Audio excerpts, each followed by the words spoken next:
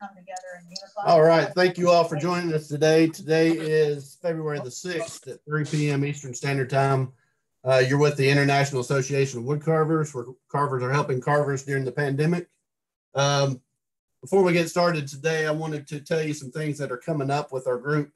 Uh, we've got quite the lineup that's uh, scheduled through April so far. Um, today we have on uh, Claws Creation, uh, Claes Larsson. He's coming to us from Sweden. Uh, he's going to talk to us about bowls, spoons, and knives.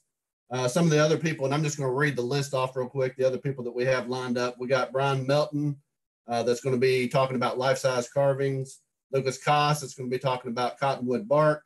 Uh, Dwayne Gosnell is going to come on and do a demonstration on study sticks. Uh, Rich Embling's coming back to talk about marionettes.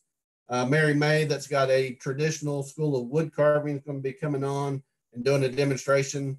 Uh, she's with uh, MaryMayCarving.com. Uh, Janet Cordell's coming up in March. She's going to be doing a demonstration. Uh, James Ray Miller's coming back to do a demonstration. Tim uh, Crawford from Chip Chats and the National Woodcarvers Association is going to be coming on in April.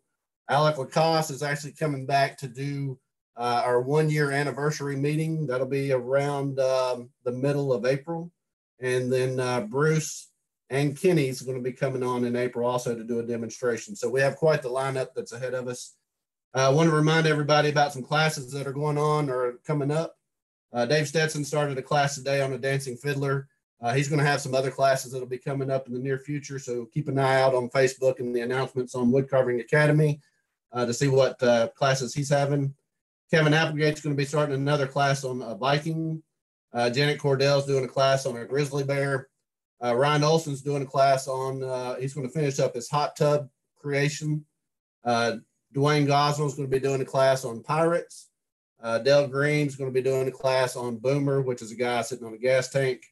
And then Bob Hershey just signed up to do a class on a surfing frog. So uh, you can all tell that there's quite a few things that's coming up. If you want to get involved in wood carving, you want to take some classes, take advantage of these opportunities. Uh, it's a good opportunity to sit with some of the best carvers out there and get some uh, some great detailed instruction that you probably wouldn't even get in a class, so or a live class. So make sure that you take advantage of those. Um, a lot of these things are sponsored by Wood Carving Academy. You can go out and get the information from woodcarv- woodcarvingacademy.com. Um, make sure that uh, you check out uh, not only the classes are being offered that's coming up, but also stuff that they've had um, provided from other carvers as far as classes, and you can go out and do a subscription with them. So make sure you take advantage of that.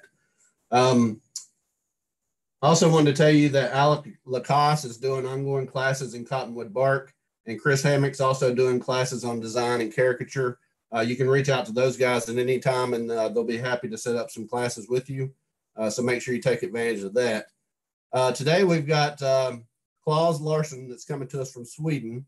Uh, he's going to be doing a little bit of a demonstration and talk a little bit about uh, his carving bowls. I want to tell you a little bit about him. He lives in a uh, rural area about two hours north of Stockholm, Sweden.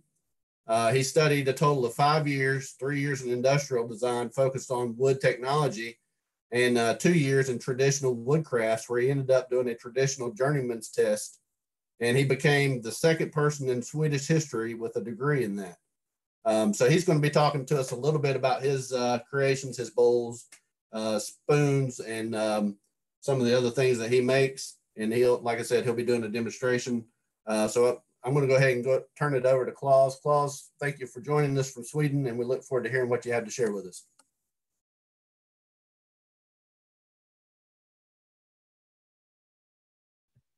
Oh yeah, can you hear me now?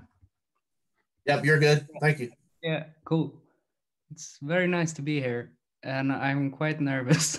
it's been a long time I've since I've spoken to more than my family, uh, and I don't know if I ever have spoken for a full hour in English. So it's kind of a weird experience. But i'll do my best and if you don't understand then just tell me and i'll try to explain it. Uh, yeah so i'm gonna share my screen. Um,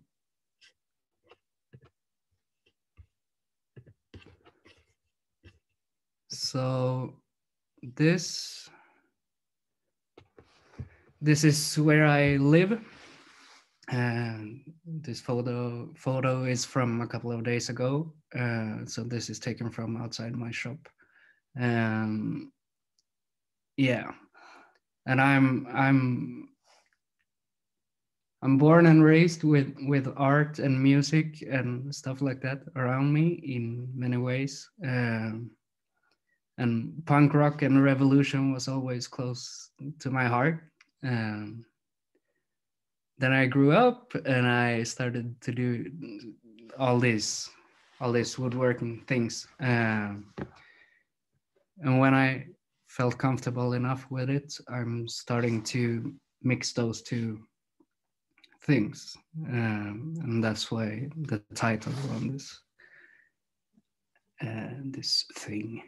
Um, yeah, so this is some stuff I'm gonna talk about, but we will skip that. Yeah, and as mentioned, uh, I got my journeyman's letter, uh, and this is from, and this photo is from when I got it uh, at the city hall in Stockholm, in the same room as where they give out the Nobel prizes. Uh, so that was probably one of my proudest moments. Um, and the other picture is partly describing that I've been a graphic designer and illustrator before I went for woodworking. Um, yeah, and it, it's Claws Creations. That's my company name. That comes from a Australian dude who I told him my name was Claes, um, and he thought it was some kind of artist name and thought it was Claws like that. Uh, so it stuck with me, and yeah, now it's the name of my company. Um, so I'm I trained for a few years in traditional Swedish woodcrafts, um, and I I have a great love for it, even though I don't make stuff that looks like the traditional stuff. Uh, I use many of the same techniques and the knowledge that has been passed on. Um, so it's a mix of historical making and my own take on it. Uh, so like these baskets and kuksas and things are like I'm really small now, but this is like the same basket. Uh, so I, I'm trying to do do it with my own touch, so to say. Am I like this small up in the corner? Yeah, we can see your screen better than we can see you, but we can still see you there on the side. Yeah, yeah. Then I'll show some stuff after, I think. Yeah. Uh, so spoons and all that stuff was part of my my school. Um, and shrink pots uh, that I love love to make. It's probably my third favorite thing to make. And bowls are probably up there as well. Um, but this is more of the stuff I was trained in in industrial design school. I, I made this table this summer, I think. Um, so I do all sorts of woodworking, uh, where carving is probably what I love most. Um, but I do furniture and everything in in woodworking, so to say. Uh, here's some, I like to make these birds, uh, like li little, or this is maybe two feet wide or something like that. Uh, and some tables from solid pieces. Uh, so these are chainsaw carved and with angle grinders and stuff like that some more power carving. And I do some figures, a lot of birds and a lot of like mixing techniques of traditional carving, but they are painted with uh, like graffiti artists, spray paints, and and uh, markers and stuff instead of linseed oil paints or whatever. Um, so that's like what I love the most. Here's a, a few things, more uh, wall art pieces like that. And the bowls uh, are a really big part and what I'm gonna show today. Um, here's some of my latest bowls. Unfortunately, I can't show them on video because they are a way to get photographed for a magazine, which I'm really excited about, and and so on. Um, but I wish I could show them on the video as as well. Uh, yeah, so that's about what I had. I'm gonna stop my screen sharing. Uh. So now I'm full frame, I'm guessing. So shrink pots in all different, here's one with a sliding dovetail lid. Uh, and here's more colorful stuff like this and I love the I love the finishing and painting my objects, and I I love trying out new techniques and different types of paints and so on. like this shrink pot that is like this is birch um, but when it was green, I dipped it in black stain up to here.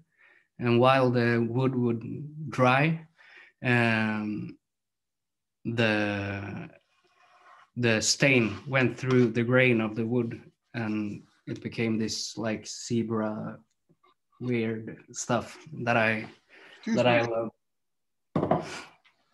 Um, so I do a lot of that stuff like uh, sweeped boxes. Oh, now something weird is happening. Am I back? yeah. What makes uh, what makes it a shrink pot? One more time. What makes it a shrink pot? What makes it a shrink pot? Yes. So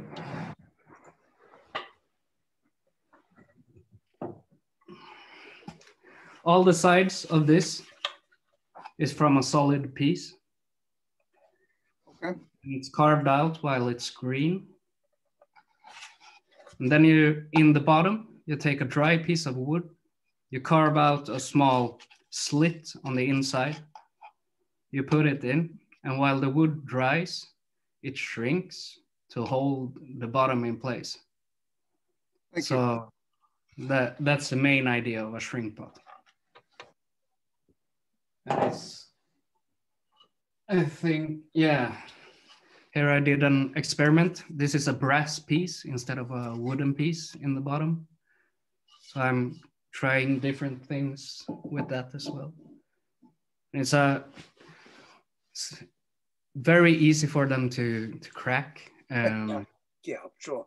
Uh, you you need to be you need to know the species, how much it shrinks, and all that. Um, but it's really nice when you get a feeling for it, and you can you can get a really interesting stuff out of it. Some people make them with the bark left and it's just like having a log on the on the bench or or whatever. Um, so it's a really interesting technique.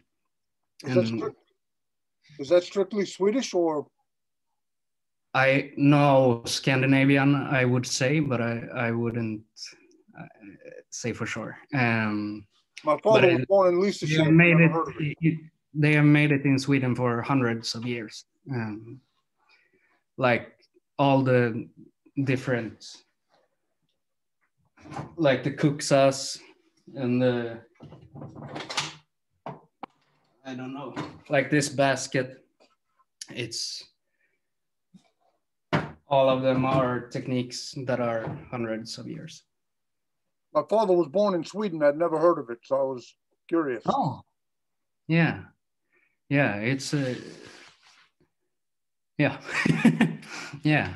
It's uh, for me in the in the Swedish uh, slöjd scene. Uh, it's something a lot of people do. Uh, a lot of people really love making shrink pots. Uh, yeah. Thank you. Yep, sure. Uh, if you have more questions, feel free to jump in. I'm happy to try to answer it. Um, but I'm gonna talk a little bit about the tools I'm gonna use, um, the traditional tools. I when I this is not traditional, but I use this as well when I'm when I'm feeling like it.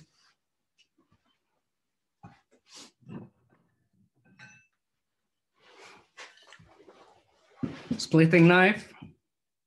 That's where it starts, splitting the log.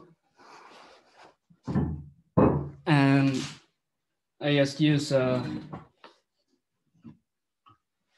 big old sh- chunky elm mallet for this.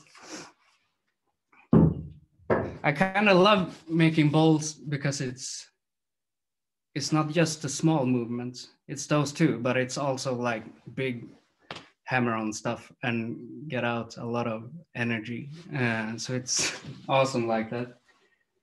Uh, I gotta show you this. This is uh, an ad that a friend of mine uh, forged, and I'm I'm gonna use it today. I have used it for like three minutes. Uh, but it's beautiful and really well made. So if you're looking for an ads, um, check out 40 Axes on Instagram. Uh, he makes some awesome stuff. And yeah, so I, I start rough carving with axe ads. Yeah, and I, I usually bandsaw out uh, the most basic shape uh, but you can do that with an axe as well. Um, and then I do the finer stuff with uh, gouges, and that's about it.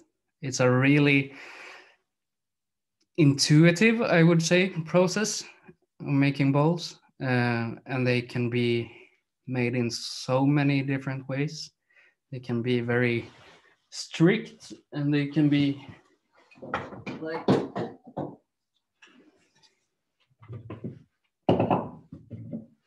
two very different like carved textures and super smooth. So there's so much variation in it.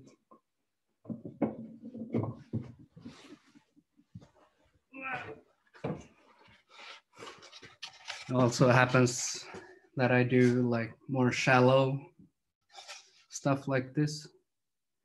And I'm a sucker for texture. So I always leave gouge marks in everything. I just love it. So I don't know if it shows up. The sh- uh, uh, almost. no. Yeah, I just love the gouge marks. So I usually I start with making stuff fairly smooth and then I roughen them up. Uh, that's how I prefer to do it.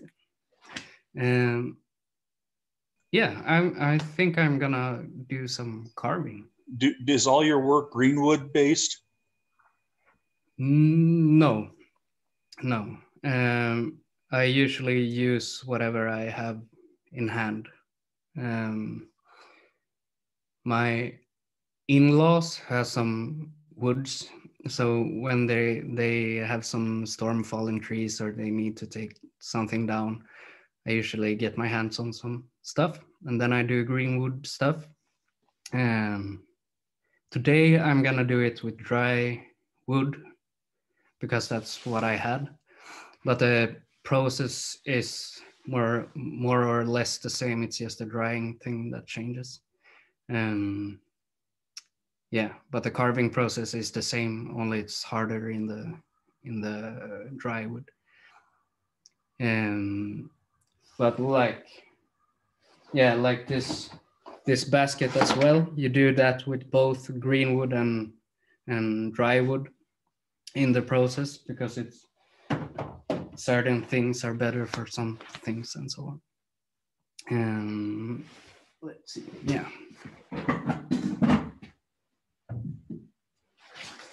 I start with something like this. Just a simple piece of birch. I my carving stuff is mostly in birch. Uh, it's the most accessible species around here, except pine, um, and it's good to work with. It's yeah, it's good to work with. It's, it can be quite hard, um, but it's mostly forgiving and uh, the tools stay sharp in it and yeah yeah. So i'm going to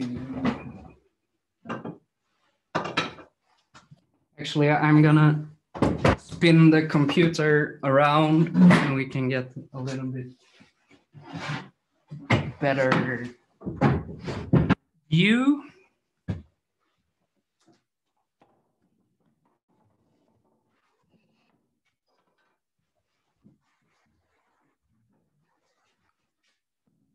see if it shows up. Yeah, I just have a small little thing to work with here.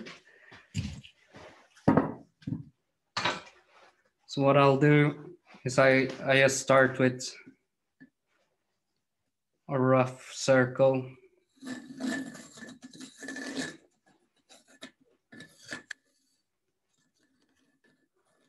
Just to have something to reference of it.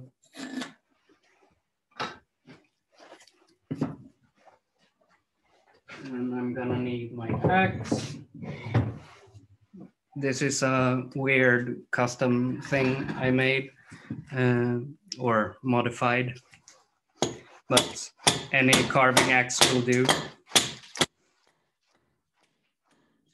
I'm just gonna start with flattening the underside. Get it to stand.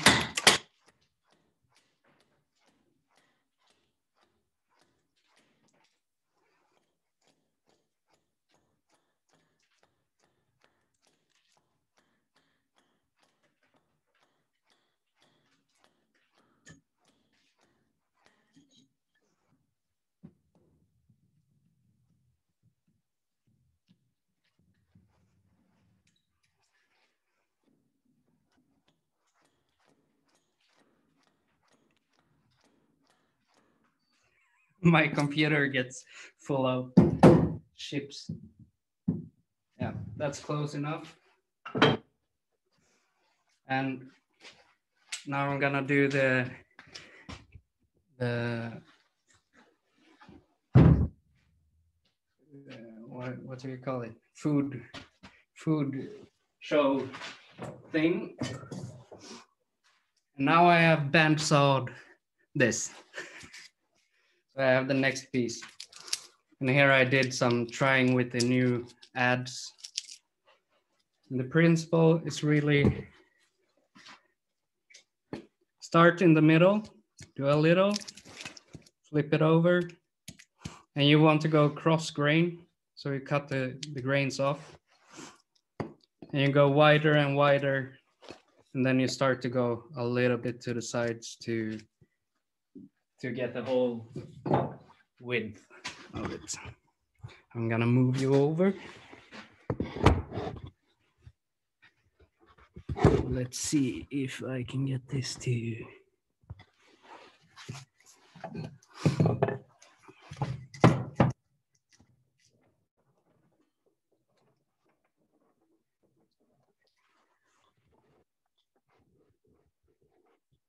Can you see this? Yeah, kind of. Yeah, so I just go over it.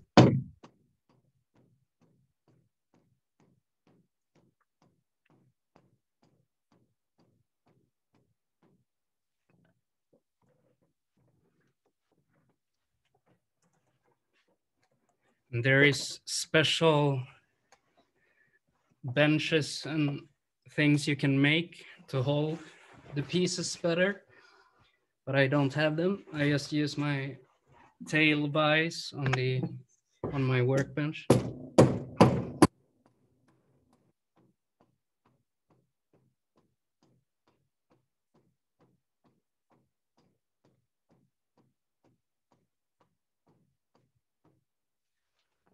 I flip it over.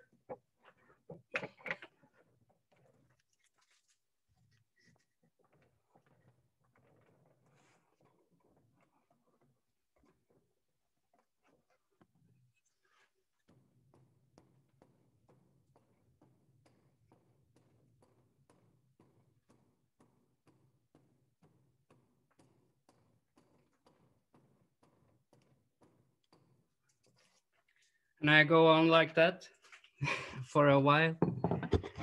When the when I've gone far enough that I'm not comfortable with the abs anymore, I go over to a big gouge. So this is a, a big, yes, two inch gouge, and I use that and a mallet. Uh, let's see.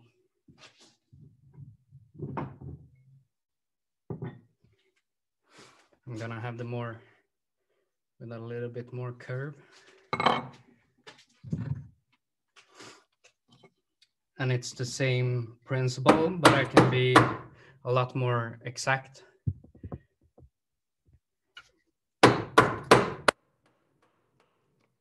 Yes, with the grain as much as possible.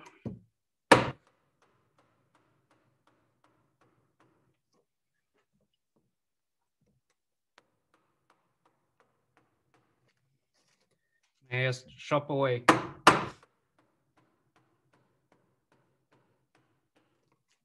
There's nothing fancy to it. It's just violence.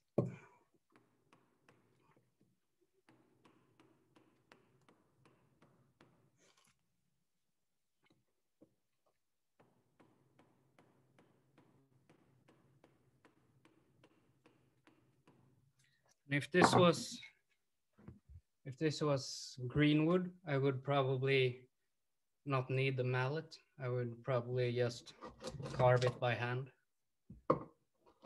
Actually, maybe I can do it now. Let's see.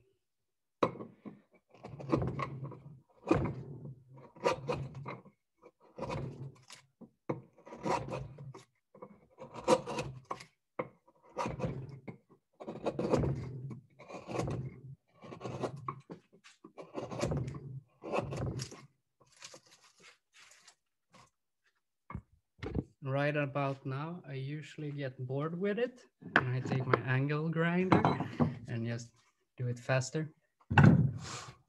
That's about it.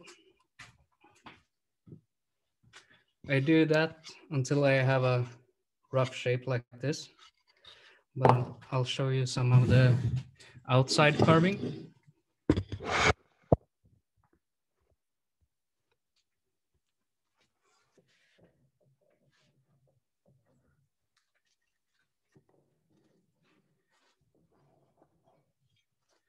Used a, I use a hold fast usually.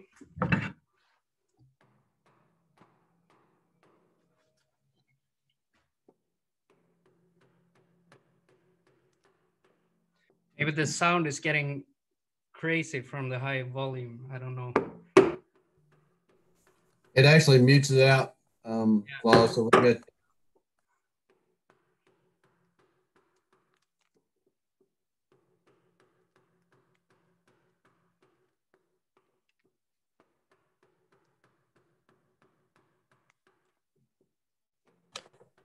Claes, instead of uh, instead of cutting it in a full circle, you seem to cut it in an octagon. Is that to make it easier for your leg vi- uh, your vice to hold it? Yes.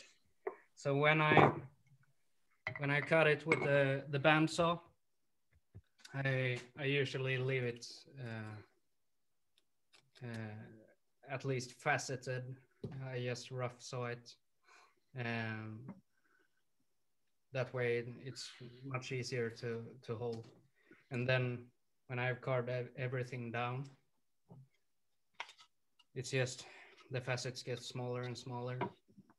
And if I want to, I can just go over it with a with a knife in the end if I really want it round. So Boss, yeah. Have you ever tried using 50% alcohol and water and spraying it down? No. I have not. Try that sometime. It makes it like butter. Cool.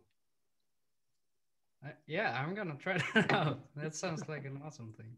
Yeah, but I, I'm my bowls. I usually rough carve them green as often as I can, um, and then this process is three times as fast. Right, but it gives you a, a little smoother finish that way too. Yeah. Yeah. Yeah. But I'm also kind of like talking about finish, uh, like the smoothness of a cut. I'm in the in the Swedish carving scene. It's like everyone is like really really hunting for that perfect cut and that perfect edged like thing and I'm not.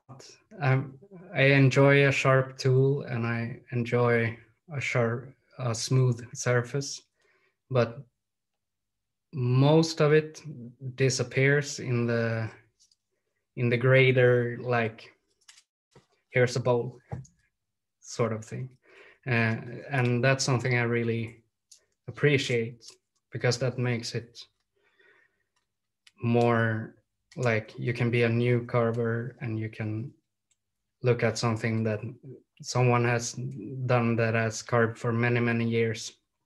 And and they can see the small defects of it. If we look at old swedish stuff uh, there's always those defects of an unsharp tool or whatever. And i think it gives it character in some way but the alcohol thing for a work like making the work easier, that sounds awesome. yeah. But uh, this is the whole thing. And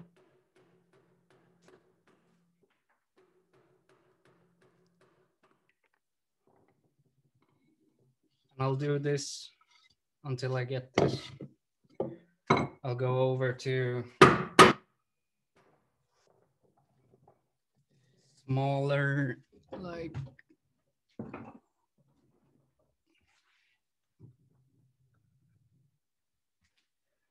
smaller gouges like this after a while.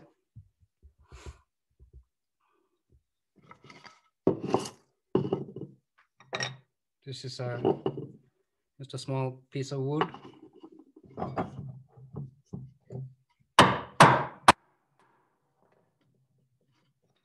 When I carve now, if I slip, I don't hit the, the steel of this. And when it's this small,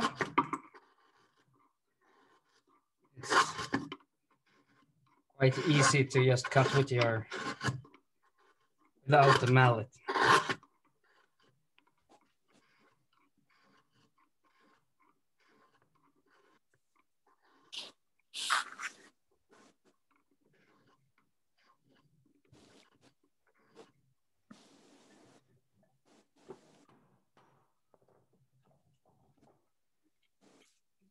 I'll do, if you see, I get this. I have this beautiful little tool that is probably my favorite tool. Just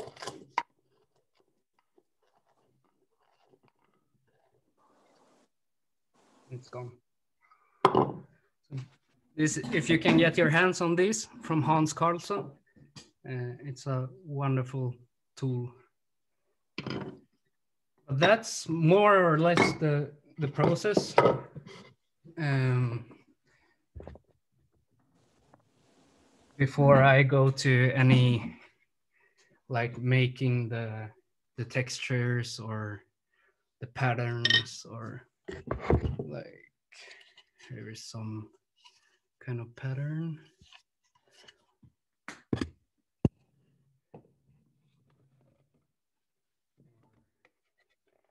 A random like gouged pattern or the longer ones like that. Claes, can you talk a little bit about how you're uh, how you sharpen your tools and how often you do it with the green woodworking?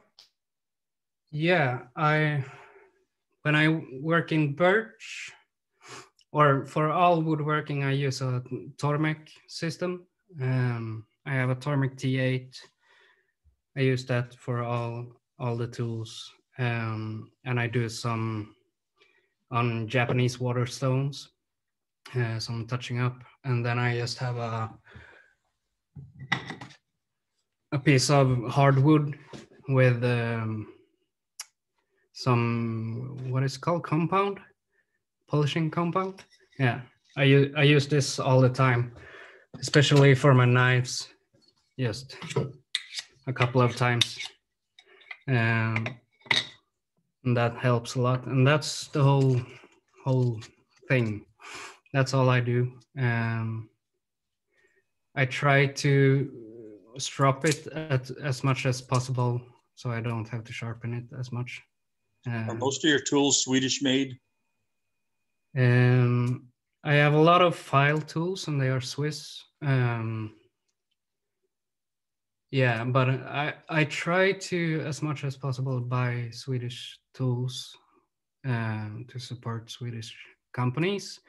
And we are good at steel cutting tools. Uh, but uh, I also like, I have a bunch of like Stanley and Veritas planes and uh, tools from all over. I have some. Here's an old Japanese gouge. I I, I buy a lot of old tools and restore them as well. Um, and I I have some basic knowledge in in blacksmithing, so I I make a lot of my own carving knives. Um, so I it's like this uh, or this or yeah this little one or yeah or maybe like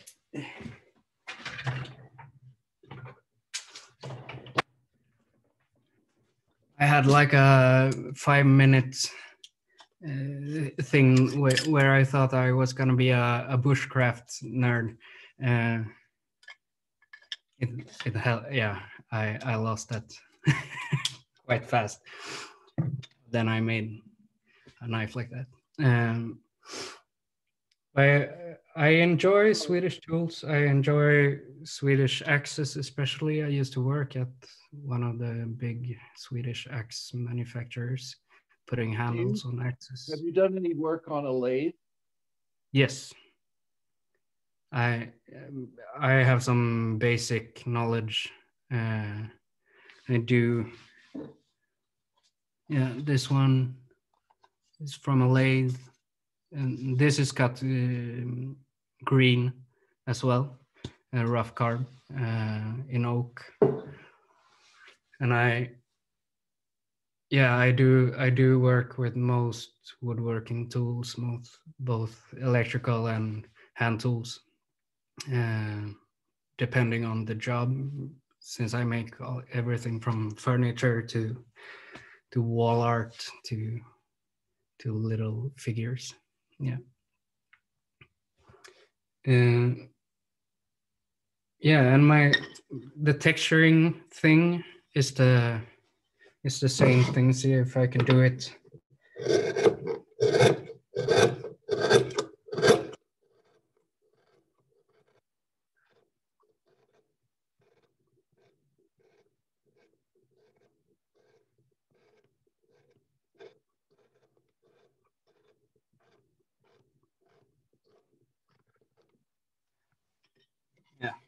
Just do that.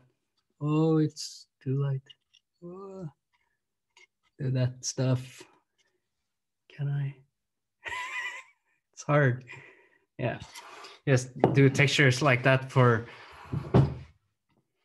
I don't know. I make a bowl like this in two hours, maybe.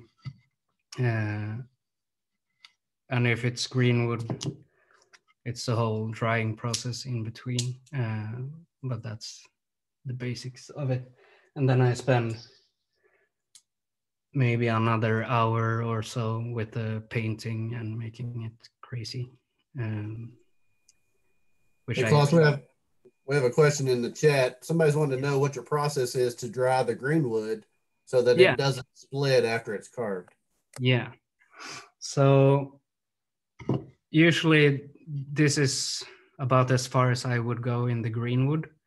So I, I would save the the finishing cuts and the the texturing and maybe a little bit of like thinning out. Uh, I will use a paper bag. There's like different schools and different thoughts on this, of course, but I use a paper bag.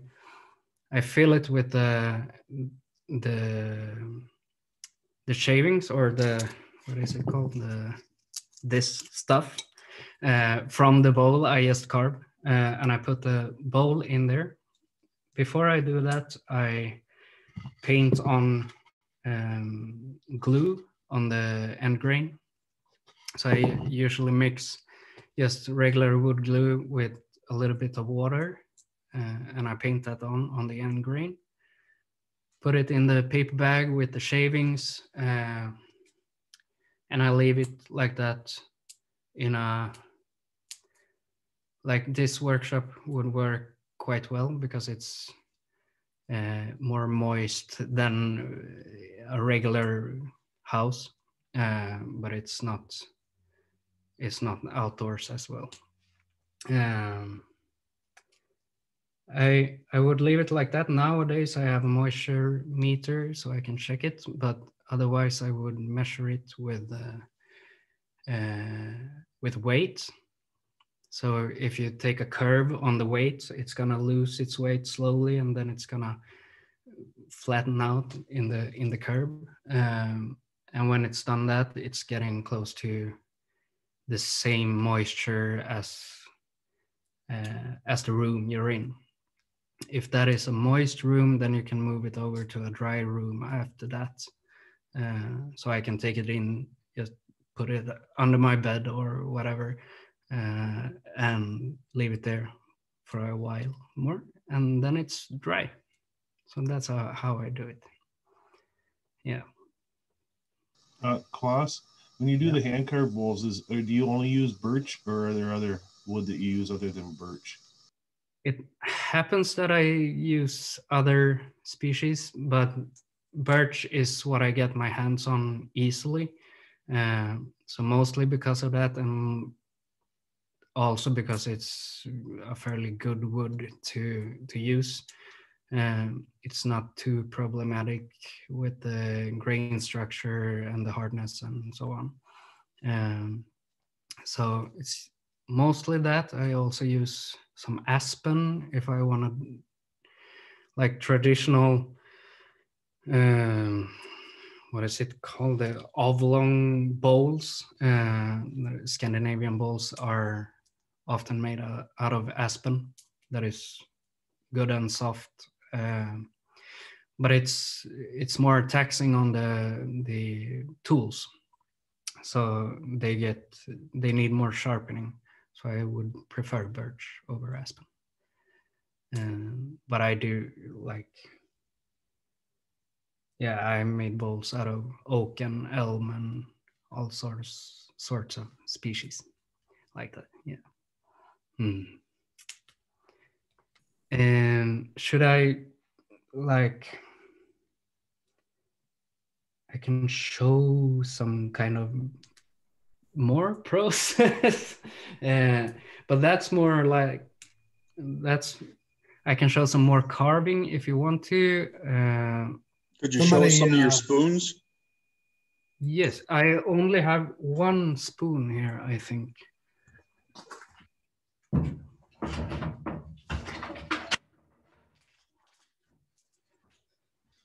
This is the first eating spoon I ever made. I, I gave it to my wife. There's a Swedish uh, uh, tradition that uh, if you have a, a spoon in your uh, chest pocket like this, it means you're single. And you, if you take it out and give it to someone, it means you have an interest in that person. So I gave this to her uh, four years ago or so. That that's like it's yeah, just a just a spoon. Uh, here's a rosewood butter knife I made. Uh, it's hard to see all the faceting. Yeah. That's some of this stuff. Hey, Claes, somebody's wanting to uh, know about your finishing process and painting Yes. and how you make the bowls food grade so that people can use them for food. Yes. Um, I have, with these latest bowls, the really colorful ones, I have disregarded the food grade thing entirely. I have let myself be the the punk I I am.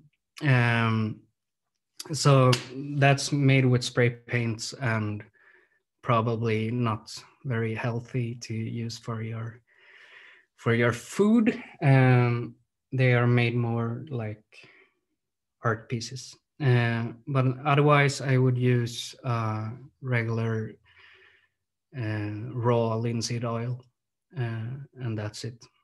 Sometimes I would paint it with. A, there's some of the traditional pigments are food safe, so I would maybe paint the outside um, with a mix of pigments and, and linseed oil, and then just oil the inside. Uh, yeah, yeah. Claes, I'm wondering if you could, uh, being a true Swede, Yeah. what's your definition of the term sloyd? Yes. And uh, like we over here, we would think like uh, it's only kuksas and spoons, but I believe it's a it's a larger uh, handcraft uh, Yes. definition. Or Yes, it is. Um, slöjd is, well, the word in itself comes from being sly or being uh, like clever. So it was the uh, the farmers and the working class and the uh, the people that didn't have a lot of money. Uh, they needed to find solutions that rich people could buy their way out of. They could buy the tools, they could whatever, buy the bowls or whatever it is. Um, so they needed to figure out clever ways to to to get those things. Um, so that's what the word comes from, and it would in Sweden it would be everything from carving figures to making baskets to shrink pots and bowls and spoons and everything like that was um, it's also slöjd is also uh, even wider than that because it's also with uh, textile work and with uh, all kinds of different materials. Uh, so you have wood slöjd and you have textile slöjd and so on. Um, so it's a really wide uh, term here. Um, then you, it's all all connected, I think, to allmoge, which is um,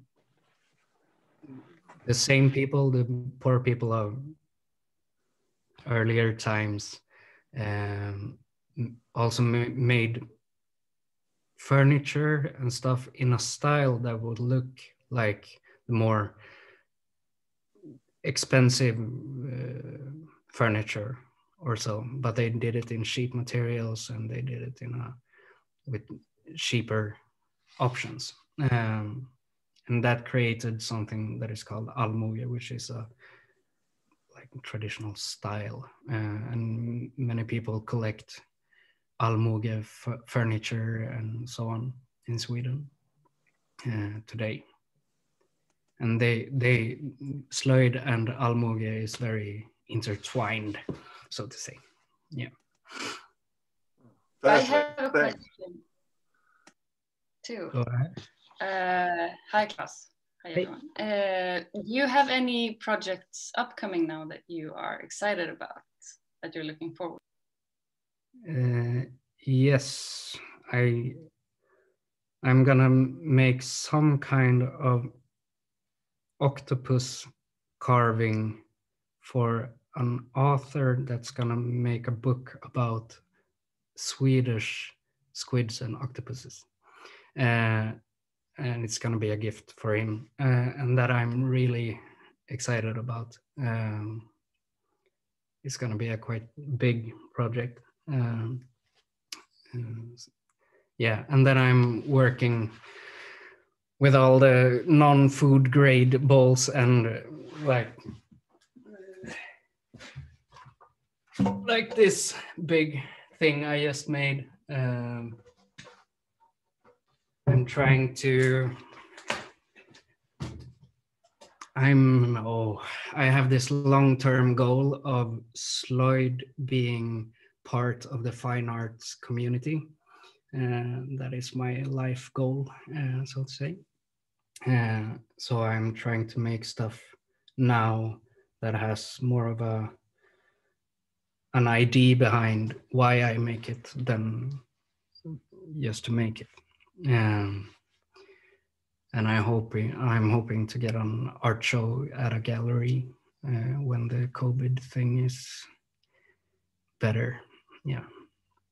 So that's my two big like things I look forward to. Yeah. Have you worked with uh, when Wille was alive, Wille Sundqvist or his Yeah. son? Yeah.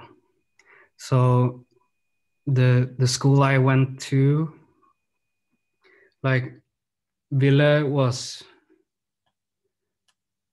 he started this s- many of you probably know him, some may maybe won't, but he was really a big part of starting up this this new wave of this interest. And uh, we have a lot to thank him for. Um, my school wouldn't uh, have existed, I think, uh, if it wasn't for him. Um, yeah, yeah. I haven't met Jögge, uh, but he, he's around. Uh, Yeah, I took a class from his son about five years ago in uh, Indiana. He's Yeah. a wonderful person. yeah, he's super energetic. Yes. Yeah. He Mm. took us out to the, the forest and we cut down branches and we did everything from scratch all the way to the final product. Yeah, that's how it should be made. Yeah. yeah, that's awesome. That's awesome. Yeah. And I, I hope there will be more voices like his uh, in, in the Swedish slöjd community. More people with more with different views or with different techniques or like the, so we can really he's doing an awesome job but we need even more people to do the job that he does for for slöjd Are you familiar with Harley Refsal here in the US? no He does flat plane carving and he comes to your country every year to give classes. And uh, he, he was uh, trained under uh, Billy and uh, um, he's uh, really, he, he does all small caricatures, flat planing, but he Yeah. is remarkable. Uh, he, he follows the, the tradition very well. yeah yeah that's cool that's cool Yeah, he was knighted by your king. What Yes, he is so he was so rec- respected a number of years ago that your Yeah. king knighted him. Oh, I thought they didn't knight anyone anymore. But Oh, this was a number of years ago. Yeah, yeah, yeah, Yeah. Cool. Yeah, and it was because he helped work with the Sundqvists to help bring the, the craft back up to uh, uh, interest to everybody. Yeah, yeah. That's cool. That's cool.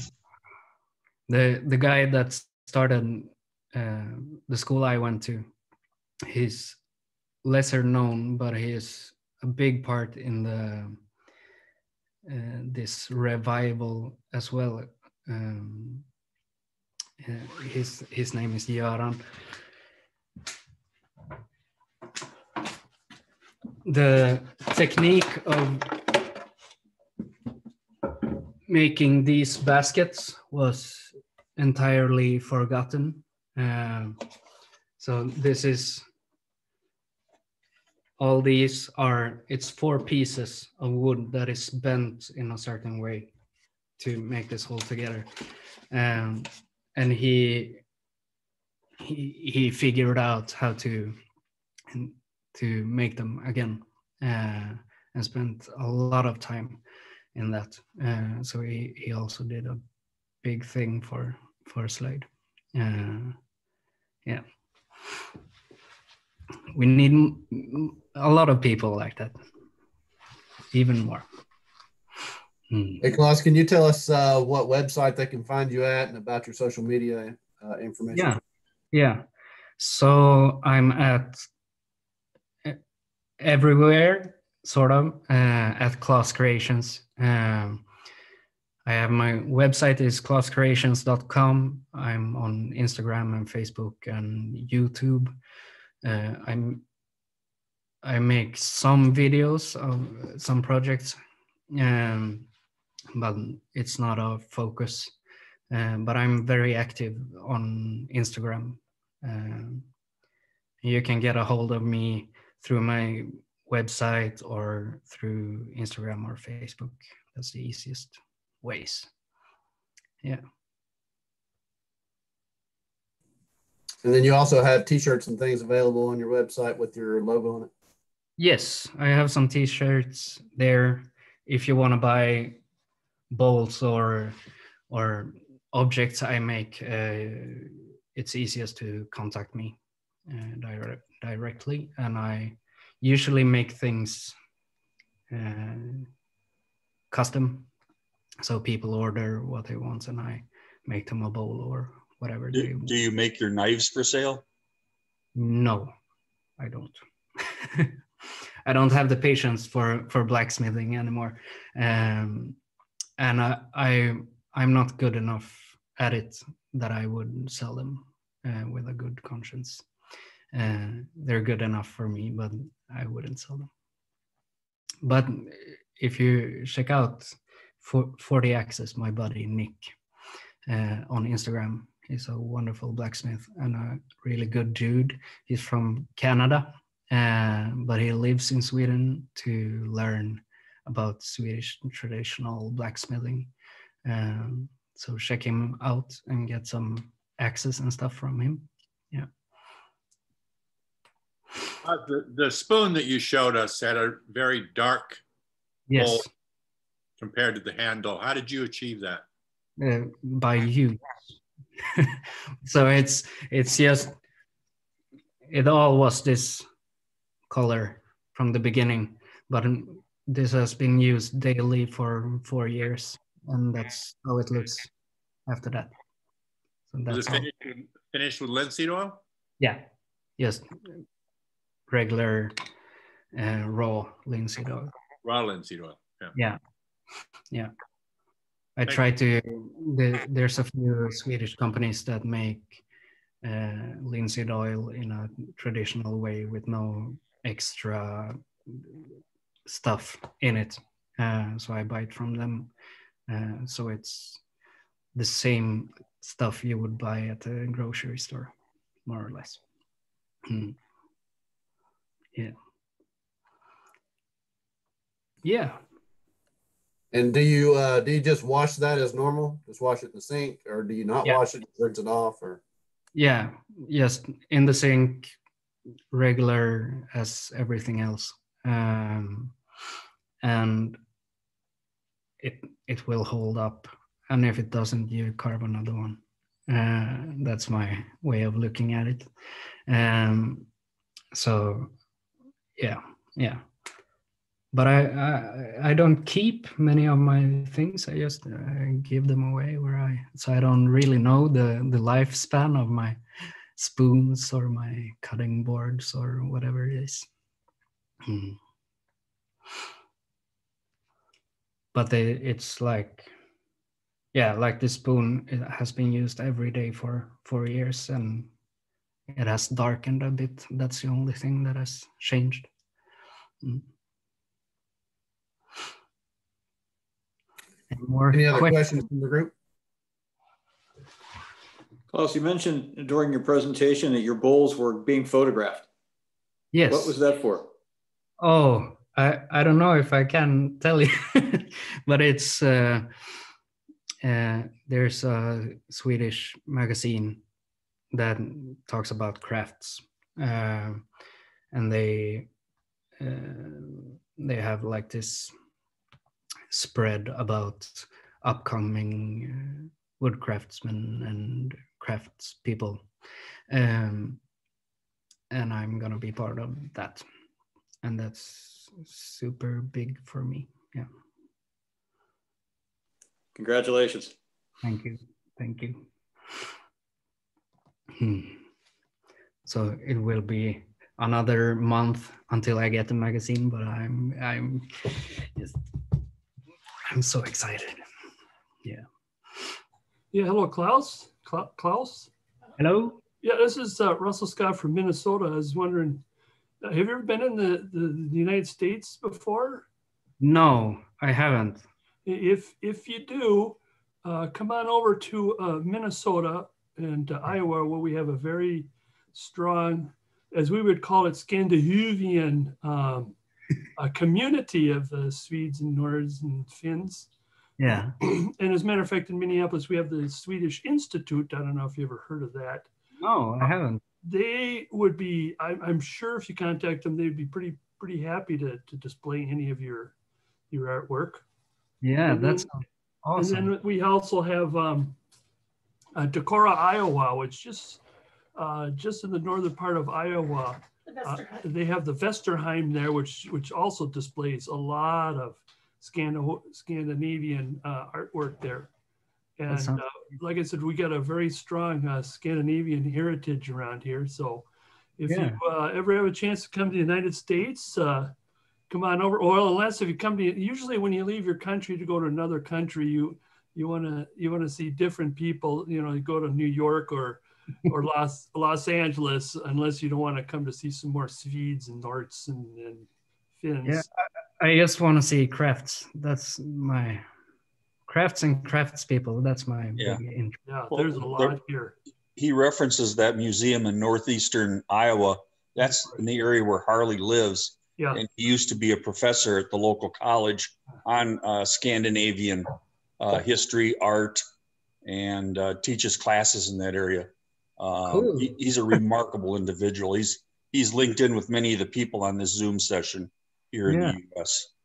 That's amazing. Yeah, and if you have the opportunity to come over when we have some kind of a event going on, usually he displays uh, and he uh, demonstrates, and it's it's really it's really interesting.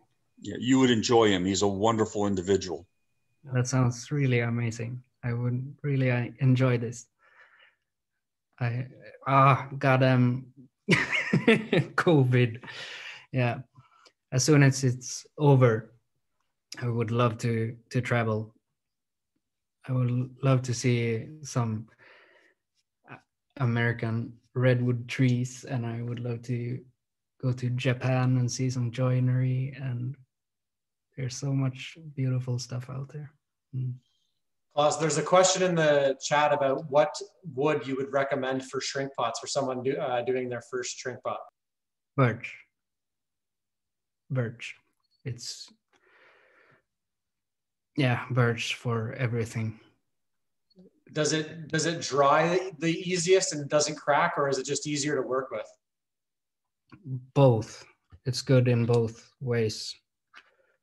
I've done some like crazy elm stuff and like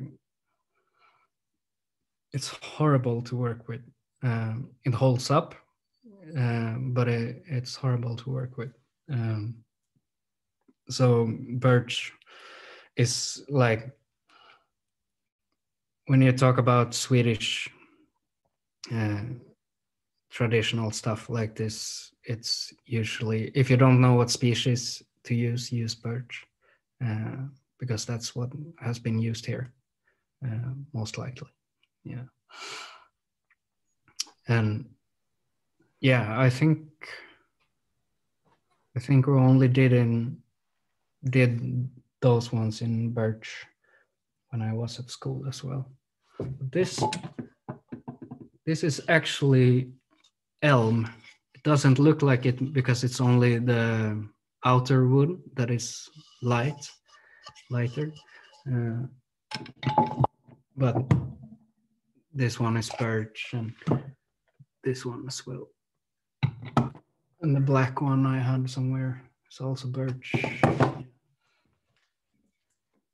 This one is also birch.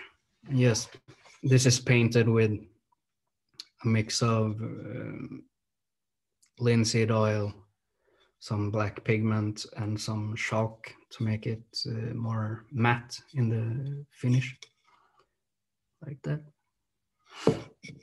Hmm.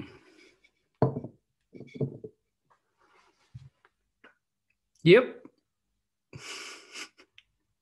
Any more questions? Yeah, one more. Um, have you ever dealt with or played with or carved with uh, Dala horses or anything like that? No, I have not made any Dala horses. And they are made maybe a two hour car ride from where I live. And so I've been to the factory and seen how they make them and such. Um, but I have not made them. My wife, who also do does a lot of woodworking and crafts, uh, she has some similar horses, um, but it's, uh, that has a little bit of a different story to them. Yeah.